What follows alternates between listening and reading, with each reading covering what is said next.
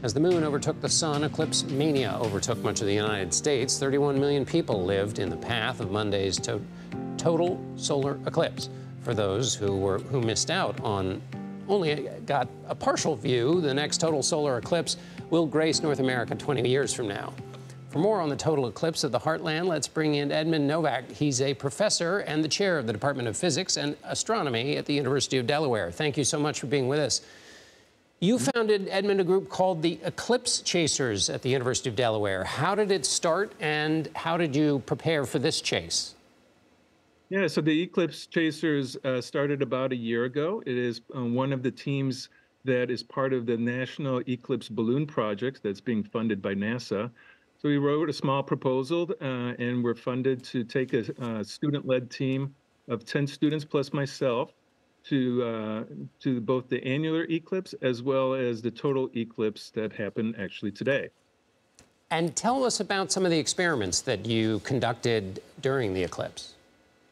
So the experiments, this was an engineering track on this NEBP program, and um, the students were involved in creating various subsystems to basically have uh, atmospheric sensors on board the payload flight string. And the flight string consisted of about five different payload boxes with different instrumentation in there. Mostly atmospheric sensors, uh, but also some uh, exciting video streaming that was taking place uh, in addition to video recording. And those sensors are basically used to monitor temperature, pressure, humidity changes as the eclipse occurs. And the hope is that some of this data can be used to help inform better weather forecasting, as well as looking for these um, phenomenon called gravity waves, which are ripples in layers of the uh, atmosphere that happen kind of similar to like when you drop a pebble into a pond. You'll see these ripples that propagate out. But the ripples for during the eclipse are caused by the shadow of the sun, uh, the shadow of the sun passing across the atmosphere, causing it to get colder, densification, and consequently, you get a similar ripple effect that happens.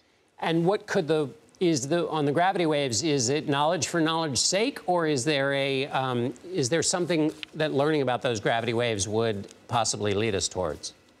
It, it's partly for uh, trying to detect them. Uh, they were first detected in the 2017 eclipse, uh, but we want to be able to study them a little bit more deeply.